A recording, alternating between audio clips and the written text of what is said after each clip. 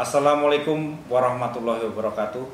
Saya Letkol CZI Istiarto, Dandim 0112 Sabang, mengucapkan selamat atas dilantiknya Jenderal Listio Sigit Prabowo sebagai Kapolri oleh Bapak Presiden pada hari ini, Rabu tanggal 27 Januari 2021.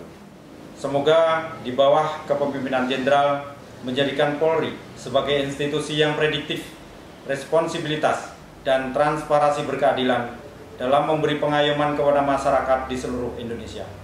Bersama TNI, kita jaga NKRI.